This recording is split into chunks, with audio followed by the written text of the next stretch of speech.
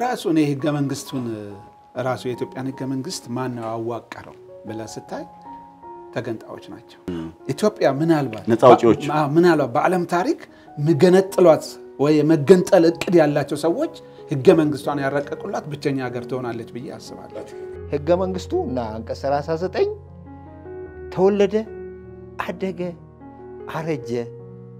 basically ከወላጁ ጋር መሞት ነበረበት። ወላጁ ስለሞተ ማለት ነው። የህገ መንግስትን ስትቃወም ወይም ስትነካው ጌትሽ የሚሰጡ መልስ አህዳዊ ነህ ነው። እሱ ራሱ የፈረንጅ ሀገር አምጥቶ ብሔር ፖለቲካ የኢትዮጵያ ነው እንዴ? ethnic federalism የራሻ የሶቪየት የጆሴፍ ስታሊንን አምጥቶ እዚህ ስቃይ መከራ እያሳየን ኢትዮጵያ ውስጥ ደግሞ ጥናት ያደረጉ ምሁራን እኔ ፈረንጅ አጠናው አሜሪካዊ ላቲን አጠና አያገባኝም። የተገደለው አሰፋ ማሩ ነው። እሱ የተገደለው አንዱን ብሔር ፖለቲካን በጣም article ይቃወም ነበር አለ። ያስገደለው ማለት ዛሬ ጥሩ ነው እንዲህ እያወራን በሰላም ቤታችን እየገባን ነው። ኢህአዴግ ነው። አህዳዊ ማለት ኢህአዴግ ነው። አህዳዊ ማለት ህወሓት ነው። ጨፍላቂ ማለት ህወሓት ነው። ከ management አንጻር የብሔር ጥያቄን ያነሳው TPLF ለፖለቲካ ስልጣን ነው። ከስልጣን ሲባረሩ ከኢትዮጵያ ይልቅ ሱዳንን አስቀደሙ። አሁን የእነሱ TPLF ደጋፊ ርዝራዥን በሉ ምንም ከሱዳን ጎን ነን ሱዳን ምናምን ስሉ እንሰማለን። አቶ ደብረጽዮን ከአማራ ህዝብ ይልቅ ለእኛ ሱዳኖች ይቀርቡናል እስከ እኔ እንዲህ አይነት generation ኢትዮጵያ ውስጥ መፈጠሩ በእንዲህ አይነት እንደዚህ ማውራት የሚችል ህሊናና አእምሮ ባል- ያላቸው ሰዎች ባሉበት ዘመን በመፈጠሬ በጣም ነው ማዝነው።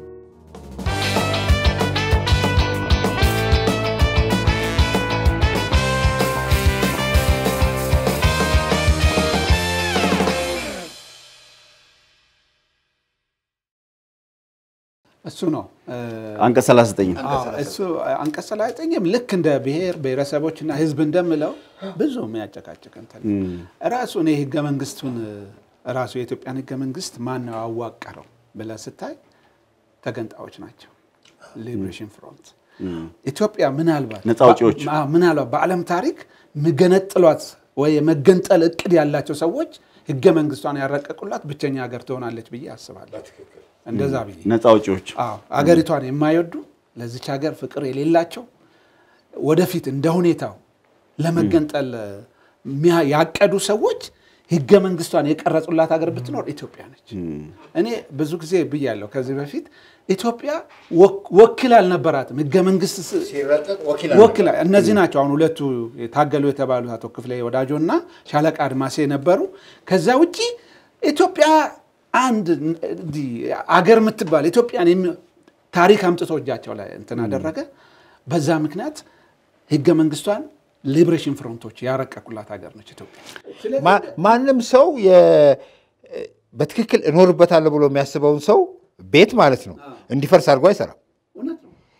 ልትኖርበት የምታስበው ቤት ከሆነ እንዲፈርስ አድርጋ አትሰራም። ስለዚህ የመኖር ፍላጎት ያልነበራቸው እንዳልከውም opportunist secessionist የሚባሉ እኛ እስከመራን፣ እኛ እስከገዛን፣ እኛ እስከመዘበርን፣ እኛ እስከበዘበዝን፣ እኛ ጌታ እስከሆንን እቺ ሀገር ትቆያለች። እኛ ያልሆንን ቀን ደግሞ እቺ ሀገር አትኖርም። እንድ በተግባር አሳዩን። 30 ዓመት ሳይሞላ ማለት ነው። አሁን ከኢትዮጵያ የሚቀርበን ሱዳን ነው እያሉ ነው እንግዲህ የ TPLF ሰዎች ከአማራው የሚቀርበን ሱዳን ነው እያሉ አዎ እኛ ከሌለም ብለው በግልጽ የአገሪቱ የሉዓላዊ power protection መገለጫ የሆነውን ብሔራዊ ጦሩን massacre ፈጽመው ጭፍጨፋ ማለት ነው አደረጉ እኮ በቃ አሁን ለእኔ ህገ መንግስቱ እና አንቀጽ 39 ተወለደ አደገ አረጀ basically ከወላጁ ጋር መሞት ነበረበት። ወላጁ ስለሞተ ማለት ነው። TPLF ስለሞተ ከወላጁ ጋር መሞት ነበረበት እና ግን ደግሞ ሲሞት ምርጥ የቀብር ምንድን የቀብር ስነስርዓት ስለሚያስፈልግ ተነጋግረን ፈትሸን አበጥረን ገለባውን ከፍሬው ለይተን አስተካክለን ነው ቆሻሻውን መቅበር ያለብን። እዚህ ላይ ጥሩ ነጥብ ነው ያመጣው። እንደ- ግን አብረህ ጌትሽ ምናልባት ይሄ አሁን ባለፈው ዘጠኝ መቶ አይነት ግጭት ነው ያለው። የሆነ አንድ ጥናት ላይ አዎ። ኢህአዴግ ከገባ አዎ። የተመዘገቡ ከዘጠኝ መቶ በላይ ግጭቶች አዎ፣ ይህን እንኳን እየሰሙ ማለት ነው። ዘጠኝ መቶ በላይ ግጭቶች።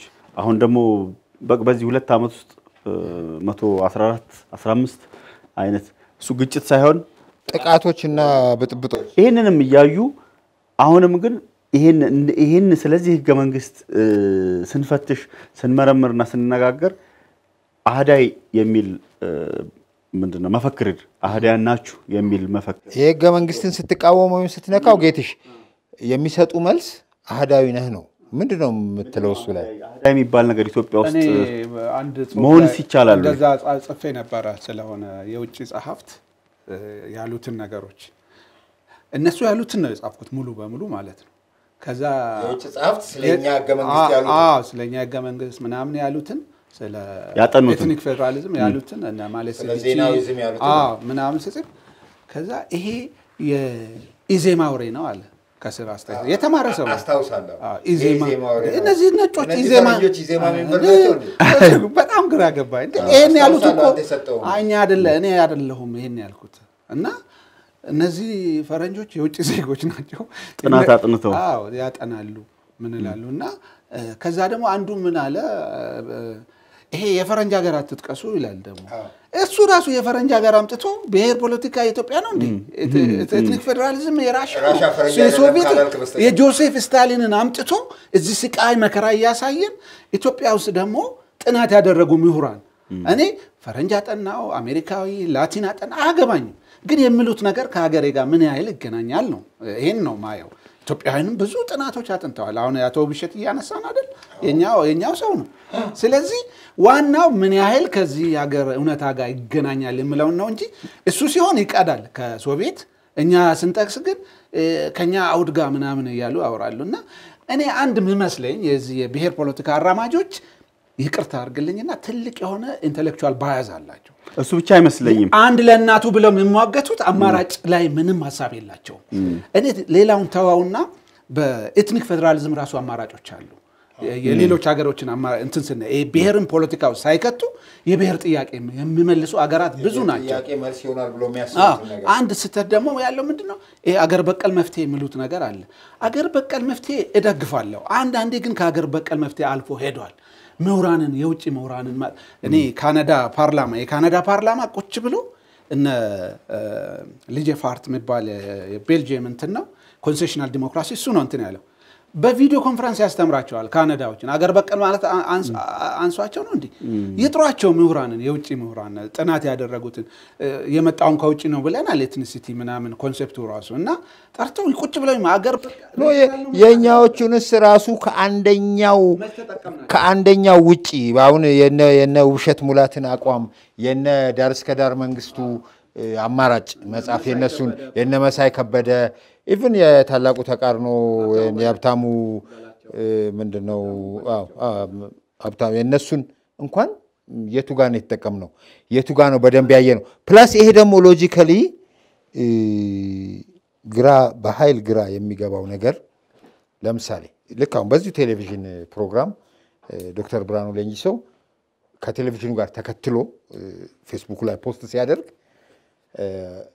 ዶክተር ብርሃኑም ሌንጂሶም ሌሎችም የኢትዮጵያን ethnic federalism ለምን ethnic federalism እንደሆነ የሚሰጧት አንድ ምክንያት አለች። diversity የሚባል ኢትዮጵያ ባለብዙ ባህል ባለብዙ ቋንቋ አገር ነች። ስለዚህ ethnic ፌዴራሊዝም ያስፈልጋት ይላል። በዓለም ላይ ትልቅ የብሔር ብሔረሰብ ቁጥር የቋንቋ የምን የምን ቁጥር አንደኛ ማነች ተብሎ ቢጠየቅ አሜሪካ ነች።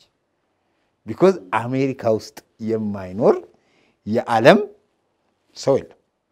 so ያቺ የዓለም የዓለ- በዓለም ላይ ያሉ ቋንቋዎች፣ ባህሎች፣ ምኖች በሙሉ ተሰብስበውባት የሚኖሩባት አሜሪካ እንኳን individual right ላይ based የሆነ ፌዴሬሽን ነው ያላት። very peaceful ግን እንደምትለው ሆኗል እና diversity የ diversity መልስ የ ethnic ፌዴራሊዝም ነው የሚለው ነው ስህተት። ብቸኛ መፍትሄ ነው። diversity address የሚደረግበት በርካታ የፌዴራሊዝም መንገዶች አሉ። mix ልታደርግ ትችላለህ ሞዴሉን ቋንቋ ምንድን ነው ጂኦግራፊ ልታደርግ ትችላለህ። ጂኦግራፊና ቋንቋ ልታቀላቀል ትችላለህ። ብዙ መንገድ አለ። የእኛ ጥያቄ ግን ብለናል ከዚህ በፊትም ኢትዮጵያ በኢትዮጵያ ሕገ መንግስት የቱ አይነት ፌዴራሊዝም ያዋጠናል የሚለው ከመመለሳችን በፊት መመለስ ያለብን ሉዓላዊው ማን ነው የሚለውን ነው። because ዜጎችን ሉዓላዊ ካደረግ በ demos ካመንክ ከዛ ሌላው እዳው ገብስ አንቀጽ 39ን address ካደረግ ሌላው ነገር ቀላል ነው። አብረህ እንድትመልስልኝ እነዚህ ሰዎች ይህንን ነው መልስ የሚሰጡት diversity ን ነው። ግን መሬት ላይ ያለው diversity ተጠብቋል? እውነት እሱ እሱ በጣም ትክክለኛ ሀሳብ ነው ያመጣው። እኔ እኮ እኔ አሁን አንዳንዴ በጣም የሚገርመኝ ነገር ቅድም አንስታችኋል። ይሄ የሆነ ከነሱ የተለየ ሀሳብ ስታማ አህዳዊ ይለዋል ጨፍላቂ ምናምን የድሮ ስርዓት ናፋቂ እኔ አህዳዊ በአህዳዊ የፖለቲካ ፕሮግራም የተዋቀረ ፓርቲ አለ። ምር- ምርጫ ቦርድ ተመዝግቦ አህዳዊ ተብሎ እኔ ይሄን አፍርሼ አህዳዊ ላመጣ ነው ብሎ ፕሮግራም የጻፈ አንድ ፓርቲ የለም እዚህ ሀገር። ግን ይሄ ምንድን ነው defend ለማድረግ ስላልቻሉ diversion fallacy የሚሉት ነገር አለ። ነገሮችን divert አድርገህ ወደ ሌላ አቅጣጫ ማስቀየር። አዎ፣ አቅጣጫ ለማስቀየር። ሁለተኛ ደግሞ በ argument ኡ ላይ ደካሞች እንደሆኑ፣ ሌላ ደግሞ ከያዟት ውስጥ ሌላ ነገር እንደሌለ ቅድም ዶክተር እርሲዶም አንስተዋል። እንዴ እኔ እኮ አንዳንዴ አማራጮች even እኛ ወዲያ ወደ እኔ ሁሌ እናገራለሁ የብሔር ፖለቲካ እንዲህ እየተወያየን discuss እያጥሩ ነው። ይሄም እኮ ትልቅ እድል ነው። ዶክተር አብይ ከመጡ ወዲህ እንደፈለግን እያወራ ነው። ባለፈው ማን ነው አቶ ያሬድ ያለው ትዝ? መምህር የተገደለው አሰፋ ማሩ ነው። እሱ የተገደለው አንዱን ብሔር ፖለቲካን በጣም article ይቃወም ነበር አለ። ይሄ ያስገደለው ማለት ዛሬ ጥሩ ነው። እንዲህ እያወራን በሰላም ቤታችን እየገባን ነው። አሁንም ምንድነው እንወያይ ነው፣ discuss እናደርግ፣ እን- እንመካከር። ያ መድረኩ የብሔር ፖለቲካ ደጋፊዎቹም እንትን ይበሉ። አንዴ አሁን እንፈትሸው። አሁን በብሔር ፖለቲካ ውስጥ በቃ ነች መፍትሄ፣ ለድርድር አይቀርብም። በመቃብራችን ላይ ይሄ ይቅ- ይቅርና እንመካከር። እስኪ diversity ምክንያቱም ሀገሪቱን አንሳልኝ። እንፈልጋለን እኛም እነሱም ይፈል- ለሱ ልመጣለን። ስለዚህ ብዙውን ጊዜ የዚህ በጽንሰ ሀሳብ ደረጃ በሳይንስ ደረጃ የምንወያየውን ትተን መሬት ላይ የወረደውን በግልጽ ይሄ እኮ በጣም ግልጹ እንግዲህ መሬት ላይ የታየው ነው። አንተ የምታነሳው empirical evidence ም አለ። በሱ መነጋገር ይቻላል። እና እኔ ብዙ ጊዜ የምለው ምንድን ነው even ትንሽ ረገብ አድርገን የብሔር ፖለቲካ automatic shift ሳይሆን እንደዚህ እየተወያየን አሁን የናይጄሪያ አንስታለ የናይጄሪያ መፍትሄ ሲፈ- ሲፈጥሩ አንድ አይደለም እንትን ያደረጉት መጀመሪያ political party banning ላይ መጡ። የ ethnic party banning ብለው positive banning የሚሉት አለ። positive banning አለ፣ negative banning ማገድ ማለት ነው። ከፖለቲካ ብሔርን መነጠል ማለት ነው። ፓርቲ ፓርቲ የብሔር ፓርቲ እንዳይኖር ማድረግ ማለት ነው። ብሔርን ያ ማለት diversity መካድ አይደለም አሉ አለ cultural autonomy አለ የባህል ይጠበቃል የሁሉም ሰው ብለው ነው። እኛ ሀገር የብሔር ፓርቲ አይኖር ስትል ወዲያው ምንድን ነው የሚሉት ብሔርን መካድ ቋንቋ አይኖር ባህል አይደለም። እንደ consociational democracy እኮ እንደሱ አይደል consociational democracy በነገራችን ላይ ያንብቡ በደንብ ነው። አቶ ማን ነው ዶክተር ሰሚር ዩሱፍ ጽፈዋል እኮ መፍትሄዎች ብለው ካጻፉት አንዱ consociational democracy ነው። ይሄ መንግስት ስልጣኑን እስከምሰጥ እንኳ ይሄን ይለማመድ። አንዱም ስለ ምርጫ proportional representation ብሎ ያቀረበው ሀሳብ አለ። ይሄ ብሔር እያለ የምካሄዱ አሁን የናይጄሪያውን ላንስ አለ። positive banning ማለት ምንድን ነው እሺ የብሔር ፓርቲ ስታዋቅር national sense ይኖር ይለዋል። ናይጄሪያ የምትባል ሀገር እፈልጋለሁ ብለህ ጻፍ ትባላለህ። ያ እንደ እንትን ነው የሚቀመጠል እንደ binding ኢትዮጵያ የምትባል ሀገር እዛ እንትን ፕሮግራም ውስጥ እኮ ነው። that is called national sense ይሄ ሀገራዊ መጀመሪያ ኢትዮጵያን አስቀድም። አዎ በቃ national sense አገሪቱን ትፈልጋለህ ወይ ነው። በሌላ እንትን እንትን ሁሉ እኮ ያደርጋሉ። ይሄ poll ሁሉ አንዳንዴ ወረቀት form አዘጋጅተው ናይጄሪያ ብሔርን ምናምን እያሉ ህዝቡን ሁሉ ያጠናሉ እንደዛ። ከዛ ይሄ ፖዚቲቭ ሄድ አትበለው ግን እንዲሄድ አድርገው ምናምን እንደሱ እያደረጉ ቀስ ናሽናል ሴንስ ያንን ካላስገባ የብሔር ፓርቲ አይኖርም ማለት። ሁለተኛው ምን አደረጉ? አይ ቲንክ ይሄን ዶናልድ ሆሮይዝ የእሱም እንትን ነው ሴንትር ፔልታር ዴሞክራሲ ነው ምናምን የሚሉት ከኮንሴሽናል ይለያል። እሱ ደግሞ ዲጄ ፋርትን ተቃውሞ የጻፈው እሱ ምን ይላል? የብሔር እንትን ፓርቲ ውድድር ላይ ማለት ነው አንድ ብሔር ፓርቲ ሲወዳደር የሀገር መሪ ሊሆን ነው አይደል? ሄዶ ሄዶ እንዴት አንድን ብሔር ወክለ የሀገር መሪ ትሆናል? ኮንፊውዥን ነው ይሄ። ገብተዋል አይደል? ቀና ያድርገው እንጂ እግዚአብሔር ያንን ያሸነፈውን ሰውዬ። አሁንም እኮ ችግሮች ያሉት በዚህ ነው። ብዙ ቦታ የሀገር ስልጣን ይሄ የተረኝነት ስሜት የምን ስሜት እያ የሚሉ ሂሶች የሚመጡት የመጣውስ ማንን ወክለው ነው? ከስር ብሔርህን ብሎ የመጣ ሰው ማንን ልመራ ነው? 89 አሁን ዶክተር አብይ ብዙ ጊዜ እኔ አንድ ብሔር አይደለም የሚመራው ይላሉ ትክክለኛ ነው፣ የምደግፈው ነው እኔ። ግን የብሔር ፓርቲ ሰዎች ማለት በብሔር ተሰይመው መጥተው ሀገርን ሊመሩ ነው። ኦሮሞውን፣ አማራውን፣ ትግሬውን፣ ጋምቤላውን፣ ከሀሜት አትድንም። አዎ ስለዚህ እሱን ነው የሚቃወመው። by the ዶናልድ ሆሮዊትዝ way ይቃወምና ምን ይላል? ስትወዳደር ምርጫ ላይ የኦሮሞ ብሔር ፓርቲ አባል ከሆን ሂድና አማራም ተወዳደር ይላል። ሌሎች ብሔሮችም ግን- ግን at fundament በመሰረታዊ level ጌትሽ ፖለቲካ ideology ነው አይደል? identity ideology ይሆናል ወይ ነው ጥያቄው። አሁን simply እኔ አሁን ሀዲያ ሀዲያ ብዬ ምን አይነት ፖለቲካ ነው ሀዲያ ሀዲያ ማለት ማለት ፖለቲካ እኮ ideology ሆኖ within this ideology ሰብአዊ መብትን በዚህ መንገድ advance አደርጋለሁ፣ protect አደርጋለሁ፣ ለክ- ለክርክር አይ- አይቀርብም። ኢኮኖሚን በዚህ በዚህ መንገድ የሚለውጡ የኢኮኖሚ ፍልስፍናዎችና ideology ዎች አሉኝ። ማህበራዊ prosperity ያችንን በዚህ በዚህ ለማድረግ የሚያስችል የፖለቲካ ideology ዎች አሉኝ ብለህ ነው ፓርቲ የሚመሰረተው እንጂ እንዴት በቃ ሀዲያነት እኮ የፖለቲካ ፕሮግራም ሊሆን ይችላል እንዴ? እሱ ላይ ያው እሱ እንግዲህ የሆነው ከቀዝቃዛው ጦርነት ማክተም ወዲህና ከኮሙኒዝም መውደቅ ወዲህ identity ን elite ኦች ወደ politics አምጥተውታል። ምክንያቱም በኮሙኒዝም ጊዜ በመደብ ነው የምትቀሰቅሰው።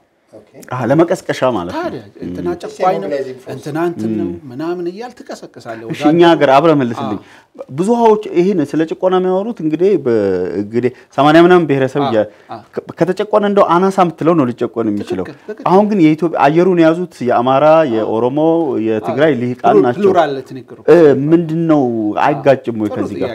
በዓለም ላይ ካለው ናሽናሊዝም ጋር አገናኝተህ የብሔር ናሽናሊዝም በዓለም ላይ ብዙ ጊዜ የማይኖሪቲዎች አጀንዳ ነው። በጣም ኢትዮጵያ ውስጥ ደግሞ የግብዳዎቹ አጀንዳ ነው። ይሄ እንዴት ነው? እሱ እሱ ትልቅ ተቃርኖ ነው። በነ- እንትኑን እመጣበታለሁ እና አሁን ያልከው የ identity as an ideology ከዛ ጊዜ ጀምሮ ነው ወደ ምክንያት ተስፋ ቆረጠ ሰው ኮሚኒዝም በቃ። እኔ እኮ ተቃራኒ እኮ ነው የሆነው ኮሚኒዝም ያሰበው በሀገርና በሀገር መካከል ድንበር እንዳይኖር internationalism ምናምን ብሎ ነው እኮ በቃ ወጥ ዓለም አቀፍ ማንነትን ነበረ። ጭራሽ ምን ጥሎብን ሄደ? በጎሳና ጎሳማ በብሔር በቃ fallacy በቃ እና ከዛ ወዲህ ፖለቲከኞች identity ን እንደ ፖለቲካ መሳሪያ ይዘው መጡ። elite theory ለዚህ ነው እሱ ከሌለ በምን ይቀስቅሱ የፖለቲካ ስልጣን እኛ እናነሳለን የእኛዎቹን በዚህ ምድብ ውስጥ እንዳሉ። ሌላ diversity ቅድም ያልኩ ተብሏል፣ ብዝሃነት ብዙ ተወርተዋል፣ ግን ተጠብቋል ወይ? እኛ ሀገር ቋንቋ ነው የሚሉት አንዱ ቋንቋ ተከብሯል። በራስ ቋንቋ መማር ደርግም እኮ ሲያደርገው ነበረ። ለስንት ብሔሮች ጀምሮ ነበር እኮ ማስተማር። የብሔር ጥናት አጥንቶ ሶሻሊስት ነው ማለት ነው። ምን አድርጎ ቋንቋ አዲስ እንትን አደረገ። ግን ተስፋፍቷል። በዚህ ትክክል ነው የማንክደው ነገር ባይስፋፋ ደግሞ ይገርመኛል። ይሄ it's by default መብዛት ያለበት ነው በቋንቋ መማር መብዛት። ግን ደርግም ተቃውሞ አያውቅም በቋንቋ መማር። ሌላ ምንድን ነው ግን አንዱ diversity የምታከረው በፌዴራሊዝም ዲዛይን ነው።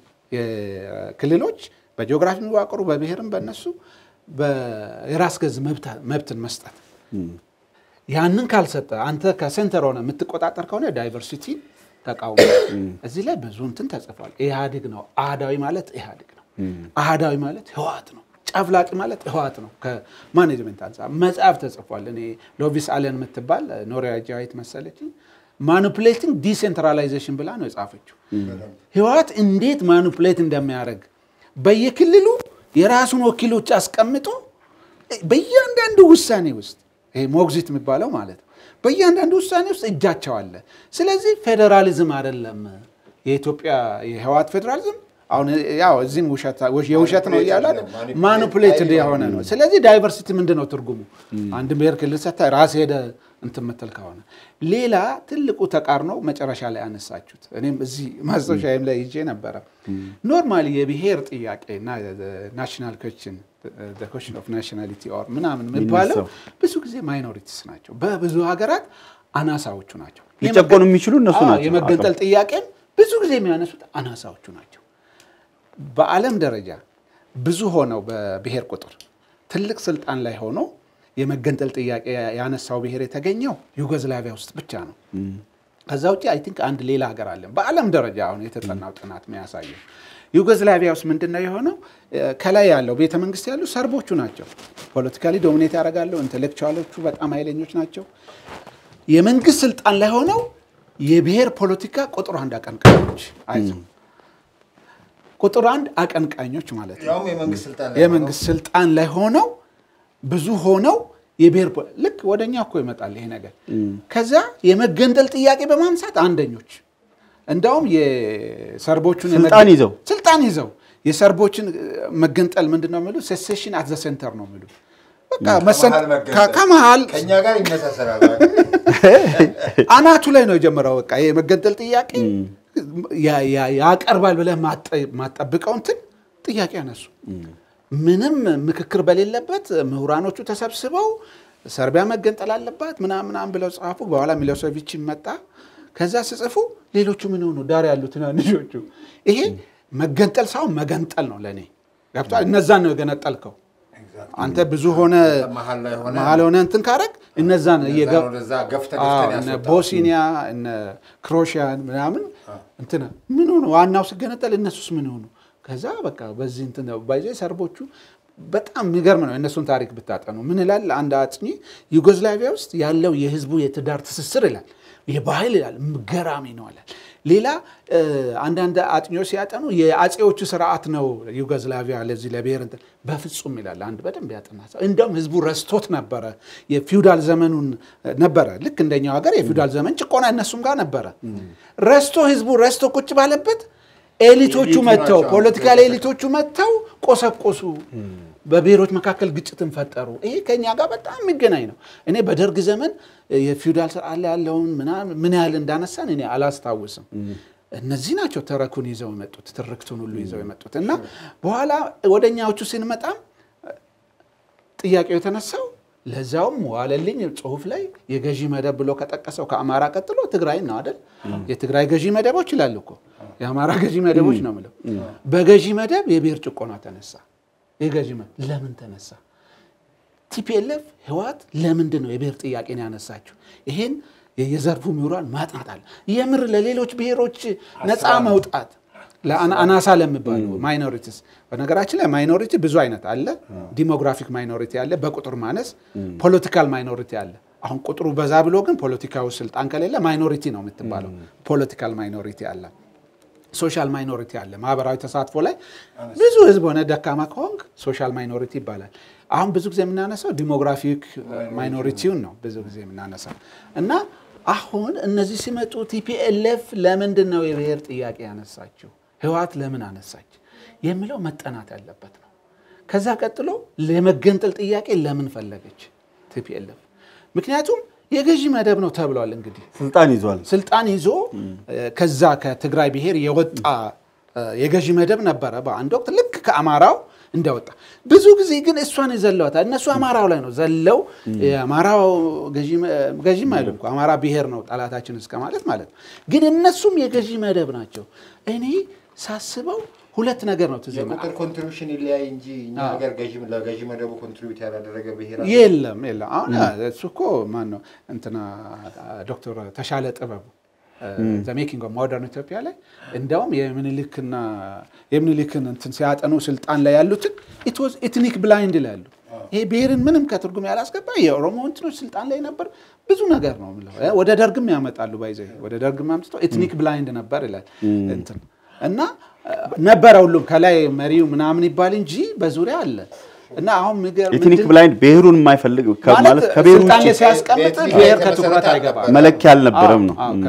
ትኩረት ውስጥ አሁን እና አሁን ምንድን ነው TPLF ህወሓት ለሌሎች ብሔሮች አስባ ነው ወይስ ምንድን ነው እቅዱ የሚለውን ስናጠና እኔ ሁለት ነገር ይታየኛል። አንዱ የፖለቲካ ስልጣን ጥማት ነው መቀስቀሻነት ምንለው። ይሄን ዶክተር አረጋዊ በርሄም የሚሉት ነው። እዛው የህወሓት ነባር የነበሩ ወደ ስልጣን መሄጃ መንገድ ነው ያ ለሌሎች ብሔሮች አስባ ሳይሆን የብሔር ጥያቄን ያነሳው TPLF ለፖለቲካ ስልጣን ነው። ምክንያቱም የፖለቲካውን ስልጣን ሲያጣ ደግሞ ምን እንደሆኑ አይተናል አይደል? ምን እንዳደረገ አይተናል። ስለዚህ የህወሓት ወደ ብሔር መብት የብሔር መብቶች ምናምን የምለው ወደ ስልጣን ሄጅሞኒያል ሩል ማለት ነው። እኔ ከዚህ አንጻር ምን ያህል እውነት እንደሆነ አላውቅም። ትግራይ መቀሌ ሄጄ ነበረ። እዛ ሄጄ ሲያስጎበኙኝ ነበር አፄ ዮሐንስ ቤተ መንግስት ትልቅ አዛውንት ናቸው። ሲያስጎበኙ የነገሩኝ ታሪክ አለ። እንግዲህ የታሪክ ምሁራን ሊያጸኑት ስለተነገረ ሲጎበኝ ሲጎበኘው ቤተ መንግስቱን የተነገረኝን ነው መልሼ የምናገረው። ምን አሉ? አፄ ዮሐንስ ከስልጣን እንትን ሲሉ ሲሞቱ አንድ ነገር ብለዋል። ትንቢት ተናግረው ነበር አሉ። ያ ትንቢት ምንድን ነው? ስልጣን ለተወሰነ ጊዜ ወደ ሸዋ ይሄዳል፣ ግን ከተወሰኑ ዓመታት በኋላ ተመልሶ እጃችሁ ይገባል ብለውን ነበረ። አስጎብኚ ናቸው እንደዛ እንደዛ ያሉኝ እና አሁን ይሄ ትርክት ይሄ myth or እውነትም ሊሆን ይችላል። በ TPLF ውስጥ ነበረ ወይ ስልጣን ተመልሶ ወደ እኛ እጅ ይገባል የሚል ስለዚህ TPLF ወደ ስልጣን የመጣው ለእኔ ለብሔር ብሔረሰቦች እንደ መሳሪያ ሊጠቀም ይችላል። በቋንቋችሁ ግን ዋናው hegemonial rule የሆነ ስልጣን ላይ ለመውጣት የታቀደ የስልጣን ትግል ነው። የ elite theory የሚባለው theory ይህን ነው የሚደግፈው። theory አዎ፣ በነገራችን theory ይህንን ነው የልሂቃን ንድፈ ሀሳብ የሚባል አለ በብሔር ጥናት። የብሔር ፖለቲከኞች ብሔርን ለስልጣን ወደ ስልጣን መንበር ለመውጣት ብለው ሲጠቀሙ ንድፈ ሀሳቡ የ elite theory ነው የሚባለው። እንትናም እሱን ነው የተናገረው። ወደ መገንጠሉም በግልጽ elite ነው። የ elite ነው። ይህን by the way ዶክተር አረጋዊ ብለዋል። elite ነው። ምንም ግልጽ ነው።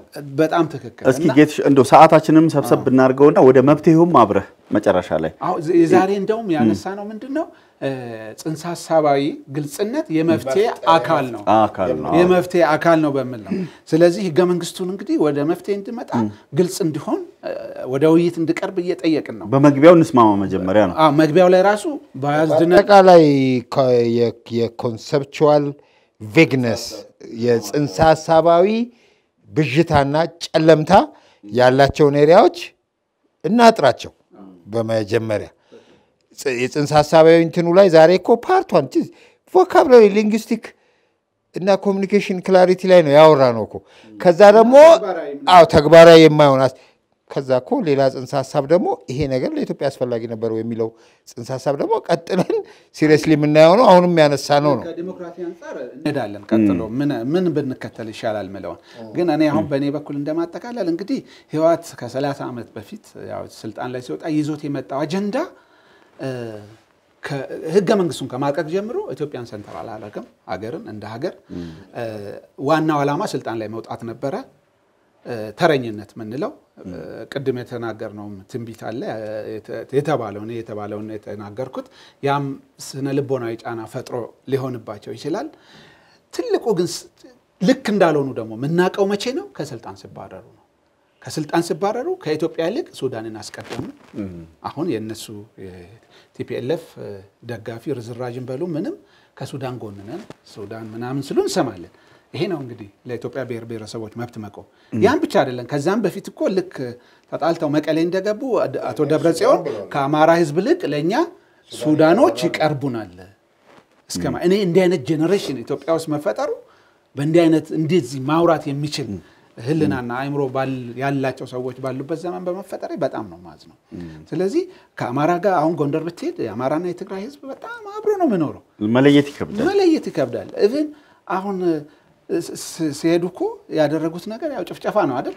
እኔ ሁሌ እላለሁ የብሔር ጭቆና አለ እያሉ የብሔር ጭፍጨፋ አካሄደው ሄደዋል። ስልጣን ላይ ሲወጡ የብሔር ጭፍጨፋውን ነው ያካሄዱት።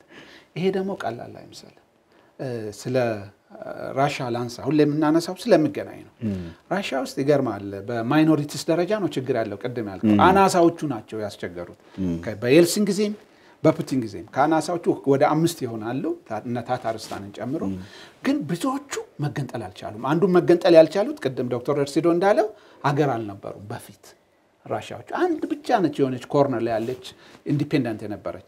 ሌሎቹ በሀገር ደረጃ አልነበሩም። independent ናቸው። independent አይደሉም በኢኮኖሚ ራሳቸውን የቻለ ኢኮኖሚ ግን ይገርማል እኮ ሀብታቸውን ስታይ ደግሞ እንደዛም ሆነን ሀገር ለመሆን ችግር ጄምስ ሂውዝ የሚባል ሳይንቲስት ያጠናው ነው የምነግራችሁ። ቆንጆ መጽሐፍ አለ territorial autonomy ከሶቪየት በኋላ የነበረውን ያጠና ሰው እና እንዲህ እንዲህ እያለ በጣም ያስቸገረችው ግን ቺቺኒያ ነች ይችላል። እስካሁን ድረስ የቺቺኒያ ብዙ ታታርስታን ሞክረው ነበረ ግን አልሆነም። ለምንድን ነው ያልሆነው?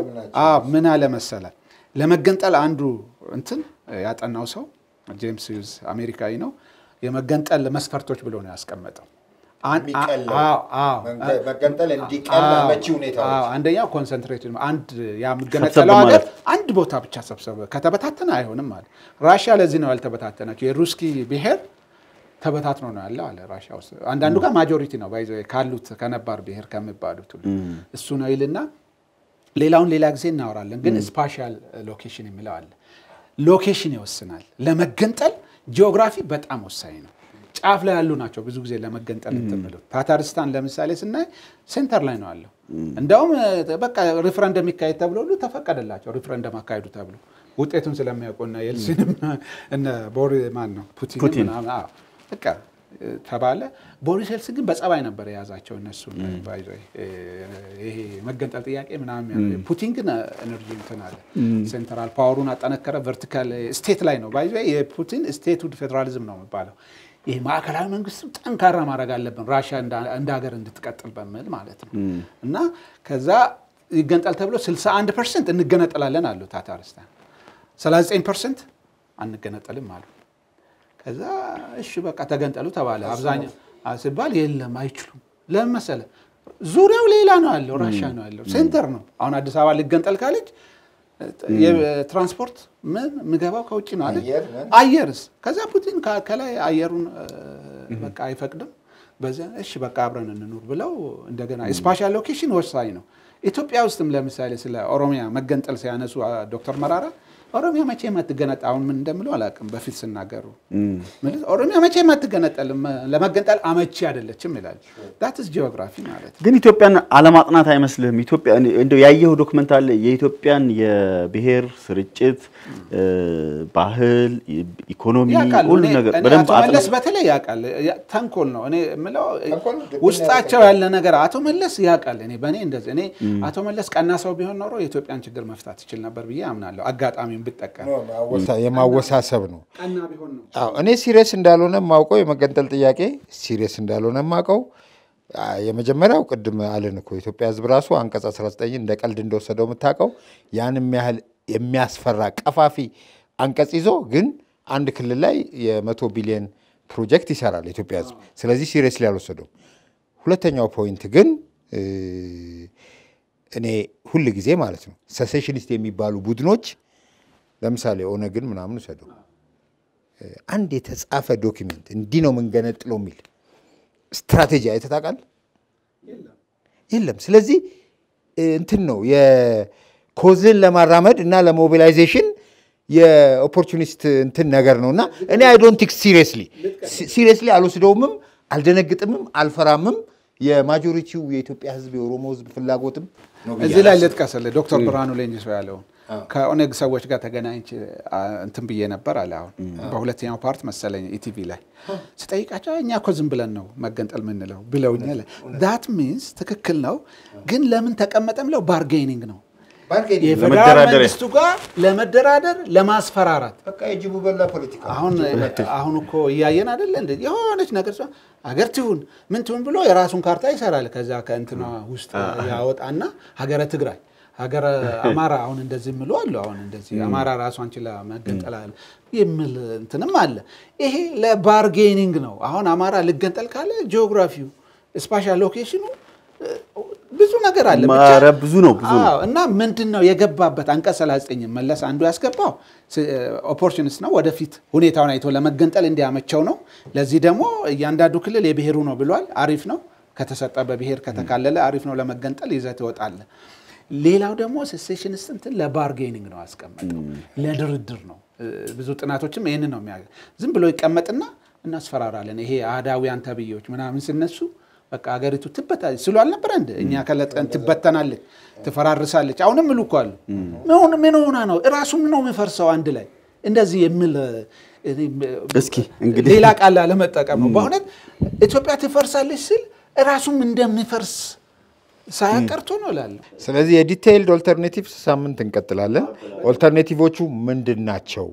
ብዙ ጊዜ ይሄ ህገ መንግስትና የብሔር ethnic ፌዴራሊዝም መለወጥ አለበት ሲባል አህዳዊነትን ልታመጡ ነው ወይ፣ የድሮ ስርዓት ናፍቃችሁ ነው ወይ የሚሉ ሰዎች አሉ። ስለዚህ next የምናደርገው ምንድን ነው? ይሄ በቃ ከኛ context የወጣ ነው። በ theory ስህተት ነው። በ practice በ empirical evidence አረጋገጥን። ምንም በቃ ከትግራይ ከተፈጸመው ነገር በኋላ ስለዚህ ህገ መንግስት እንትኖች ብዙ መከራከር አያስፈልግም። ነፃነት የሚያሰፋው ልማት የሚያመጣው ለሰዎች እንጀራ የሚፈጥረውና ኢትዮጵያውያንን ደስተኛ የሚያደርገው alternative የፌዴራሊዝም መንገድ ምን ሊሆን ይችላል፣ የፖለቲካውን truce ምን ሊሆን ይችላል የሚለውን በሚቀጥለው ሳምንት ከነመሸጋገሪያው ከነመሸጋገሪያው አንዳንድ ሀገሮች ከዚህ beautifully እንዴት ተሸጋገሩ፣ ራሻ፣ ናይጄሪያ፣ ሩዋንዳ፣ ሌላም አንጻራዊ comparative politics እናወራለን በሚቀጥለው ሳምንትና በ comparative politics አድርገን ኢትዮጵያም እንዲህ በማድረግ መሻገር ትችላለች እንላለን። ተቃዋሚ ፓርቲዎች፣ ገዢው ፓርቲ፣ አድማጩ፣ ሌላው ሰው lesson ወስዶ በሚቀጥለው ምርጫ የሚወዳደሩ ሰዎች ለዚህ solution ይዘው መምጣት አለባቸው። እጅ ከምን እንላቸዋለን ያልከው ጌቲ እጅ ከምን እሺ፣ በጣም አመሰግነው። ሳምንት